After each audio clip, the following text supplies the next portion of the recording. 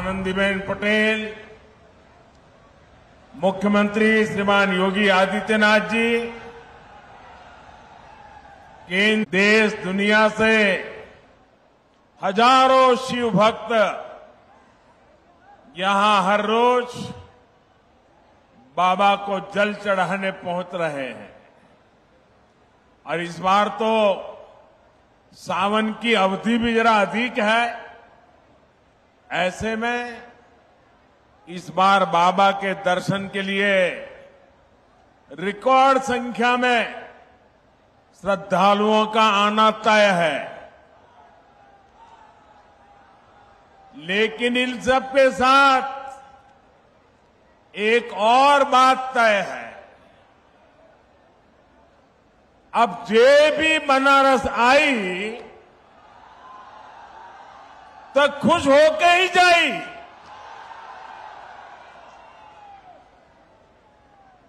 मुझे बहुत ज़्यादा चिंता नहीं होती कि इतने सारे लोग आएँगे।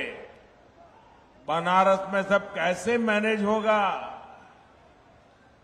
काशी के लोग तो मुझे सिखा देते हैं। मैं उनको कोई चीज़ सिखा नहीं सकता हूँ। अभी जी ट्वेंटी के लिए दुनिया भर से इतने सारे लोग बनारस आए थे।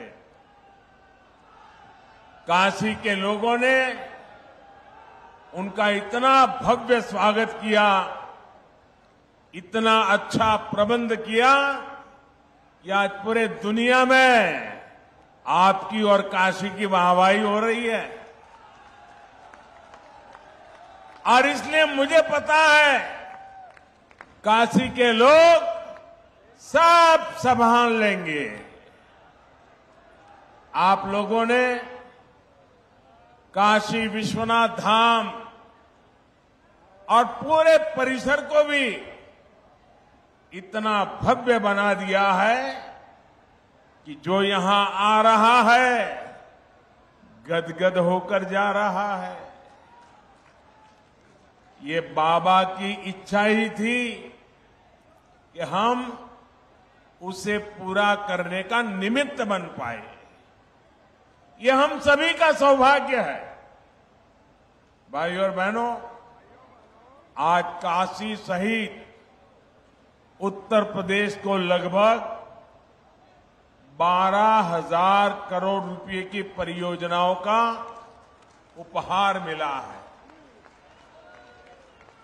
हमने जो काशी की आत्मा को बनाए रखते हुए नूतन काया का संकल्प लिया है, ये उसका विस्तार है। इनमें रेल, रोड, पानी, शिक्षा, टूरिज़्म से जुड़े प्रोजेक्ट हैं, घाटों के पुनर्विकास से जुड़े प्रोजेक्ट्स हैं। इन विकास कार्यों के लिए आप सभी को बहुत बहुत बधाई। साथियों, कुछ देर पहले ही मेरी प्रधानमंत्री आवास योजना और आयुष्मान भारत योजना के लाभार्थियों से बातचीत हुई। पहले की सरकारों से लोगों की सबसे बड़ी शिकायत ये थी कि वो योजनाएँ एयर कंडीशन कमरों में बैठ करके बनाती थी। ज़मीन पर उन योजनाओं का क्या असर हो रहा है, ये तब की सरकारों को पता ही नहीं चलता था। लेकिन भाजपा सरकार ने लाभार्थियों से बात की, संवाद की, मुलाकात की, एक नई परंपरा शुरू की है। यानी बेनिफिट भी डायरेक्ट और फीडबैक भी डायरेक्ट इसका फ़ायदा ये हुआ कि हर सरकारी विभाग, हर अफसर अपनी ज़िम्मेदारी निभाने लगे। अब किसी के लिए गुणा गणित का कोई चांस ही नहीं बचा है। साथियों, जिन दलों ने अतीत में भ्रष्ट और नाकाम सरकारें चलाई, वे आज लाभार्थी का नाम सुनकर तिलमिला जाते हैं। आज़ादी के इतने साल बाद लोकतंत्र का सही लाभ अब सही मायने में सही लोगों तक पहुँचा है। वरना पहले लोकतंत्र के नाम पर सिर्फ़ गिने चुने लोगों के हित साधे जाते थे। गरीब की कोई पूछ नहीं नहीं थी। भाजपा सरकार में लाभार्थी वर्ग आज सच्चे सामाजिक न्याय और सच्चे सेक्युलरिज्म का उदाहरण बन गया है। हम पूरी ताकत लगा रहे हैं कि हर योजना के आखिरी लाभार्थी को खोजकर उस तक पहुंचकर उसे योजना का लाभ पहुंचाएँ। जानते हैं, इसका सबसे बड़ा लाभ क्या हो रहा है? भाई, जब सरकार खुद ही पहुँच रही है तो क्या हो रहा है? कमीशन लेने वालों की दुकान बंद। दलाली खाने वालों की दुकान बंद।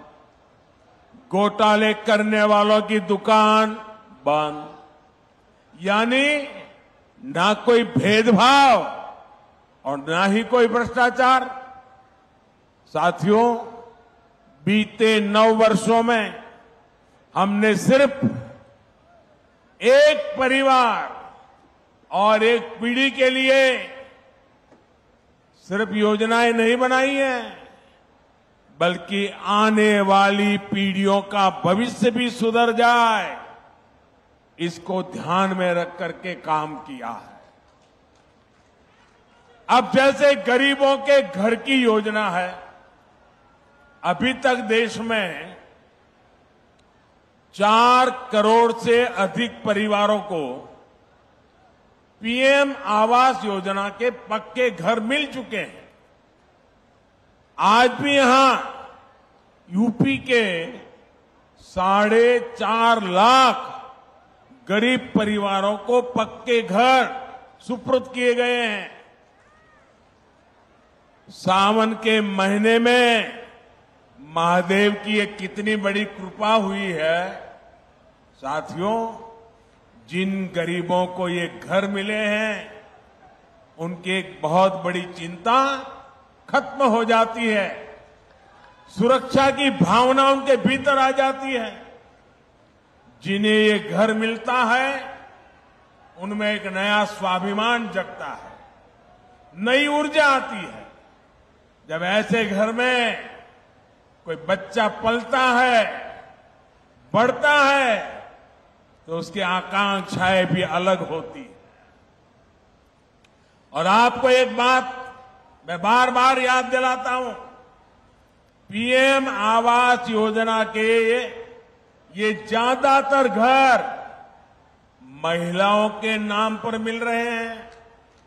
आज इन घरों की कीमत कई कई लाख रुपए हो गई है। करोड़ों बहनें तो ऐसी हैं जिनके नाम पर पहली बार कोई प्रॉपर्टी रजिस्टर हुई है। इससे गरीब परिवारों की बहनों को जो आर्थिक सुरक्षा की गारंटी मिली है, ये वो ही जानती है। साथियों, आयुष्मान भारत योजना भी सिर्फ़ पाँच लाख रुपए के मुफ़्त इलाज तक सीमित नहीं है।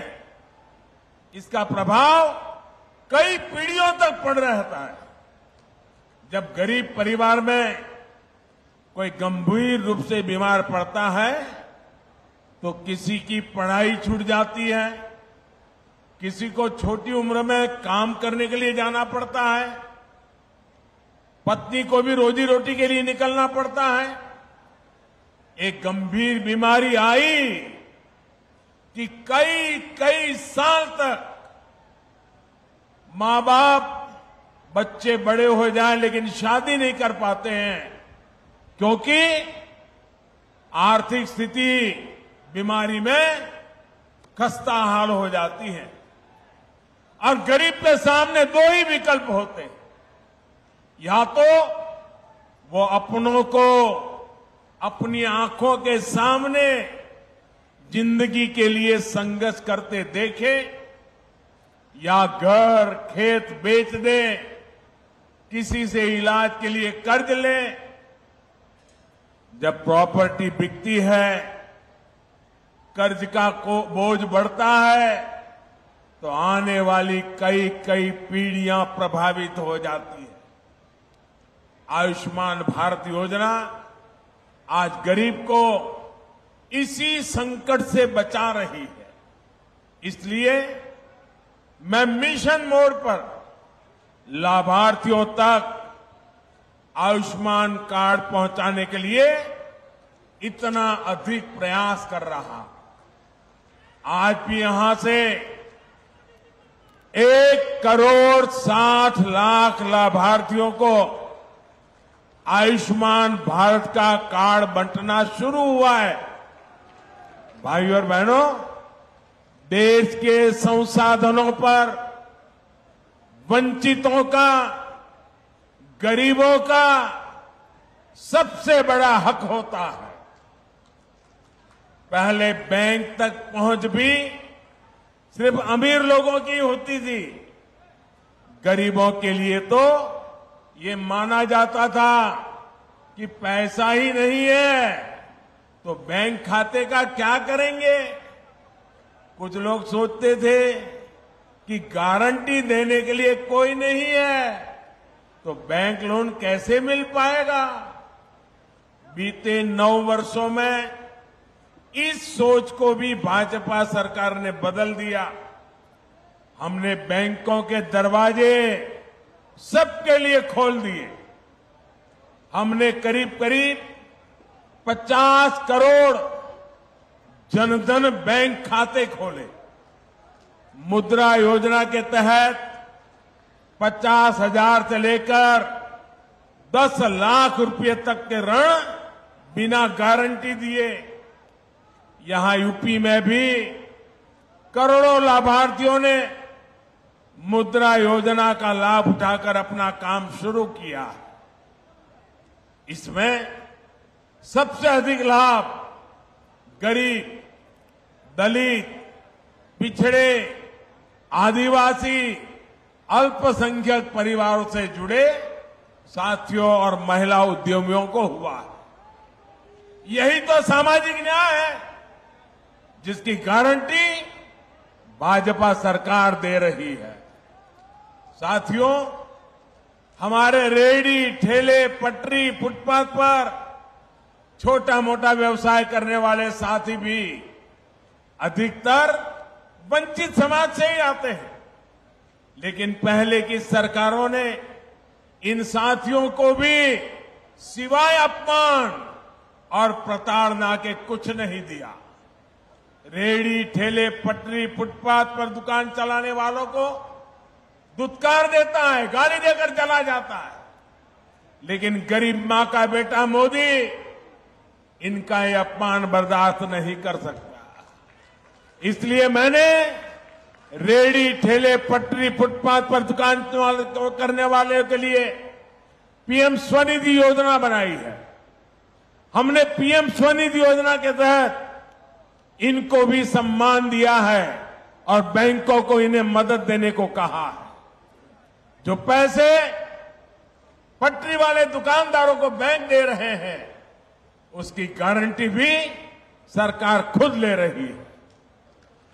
पीएम स्वनिधि योजना के तहत अभी तक 35 लाख से अधिक साथियों को मदद स्वीकृत की गई है।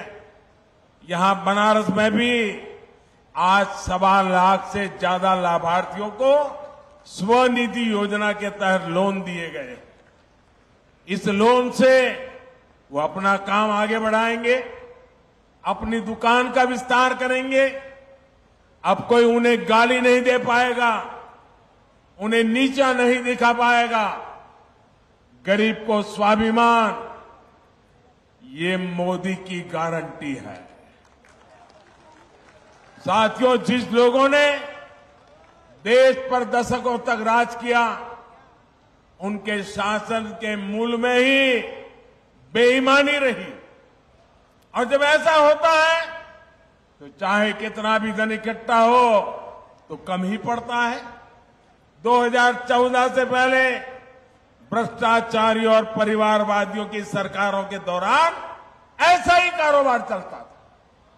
बजट की जब भी बात आती थी तो घाटे का नुकसान का ही बहाना होता था। आज गरीब कल्याण हो या फिर इंफ्रास्ट्रक्चर बजट की कोई कमी नहीं है। वही कर देता है, वही सिस्टम है, लेकिन सरकार बदली है, नियत बदली है तो परिणाम भी बदले दिख रहे हैं। पहले करप्शन और कालाबाजारी खबरों से अखबार भरे रहते थे। अब नए प्रोजेक्ट के शिलान्यास और लोकार्पण की खबरें अखबारों में छाई रहती बीते नौ वर्षों में आए परिवर्तन का सबसे बड़ा उदाहरण भारतीय रेल है, ईस्टर्न डेडिकेटेड फ्रेट कॉरिडोर, यानी मालगाड़ियों के लिए विशेष पटरियों की योजना 2006 में शुरू हुई थी। लेकिन 2014 तक एक किलोमीटर ट्रैक भी नहीं बीच पाया था, एक किलोमीटर भी नहीं। पिछले नौ वर्षों में इसका एक बहुत बड़ा हिस्सा पूरा हो चुका है। इस पर मालगाड़ियाँ चलना शुरू कर चुकी है। आज भी दीनदयाल उपाध्याय जंक्शन से न्यू सोननगर खंड का लोकार्पण किया गया है। इसे मालगाड़ियों की स्पीड तो बढ़ेगी पूर्वांचल में, पूरी भारत में रोज़गार के अनेक नए अवसर बनेंगे। साथियों, जब नीयत साफ़ होती है तो कैसे काम होता है? इसका एक और उदाहरण मैं देता हूँ। देश में तेज रफ्तार ट्रेनें चले, देश हमेशा ये चाहता था। इसके लिए पहली बार देश में करीब करीब 50 साल पहले राजधानी एक्सप्रेस की शुरुआत हुई। राजधानी एक्सप्रेस चलाई गई। लेकिन इतने साल में भी ये राजधानी एक्सप्रेस सिर्फ़ 16 रूटों में ही चल पाई है। 50 साल हो गए। सिर्फ़ 16 रूट। इसी तरह 30-35 साल पहले शताब्दी एक्सप्रेस भी चल पड़ी, लेकिन शताब्दी ट्रेन भी 30-35 साल में अब तक 19 रूटों पर ही सेवा दे रही है। इन ट्रेनों से अलग एक वंदे भारत एक्सप्रेस है और बनारस के पास तो देश की पहली वंदे भारत का खिताब है। चार साल में ये ट्रेन 25 रूट पर चलनी शुरू हो चुकी। आज भी गोरखपुर से दो नई वंदे भारत एक्सप्रेस को हरी झंडी दिखाई गई है। एक ट्रेन गोरखपुर से लखनऊ के लिए चली है और दूसरी अहमदाबाद से जोधपुर रूट पर चली है। देश के मध्यम वर्ग में ये वंदे भारत इतनी सुपरहिट हो गई है कि कोने कोने से इसके लिए डिमांड आ रही है। वो दिन दूर नहीं, जब वंदे भारत देश के कोने कोने को कनेक्ट करेगी।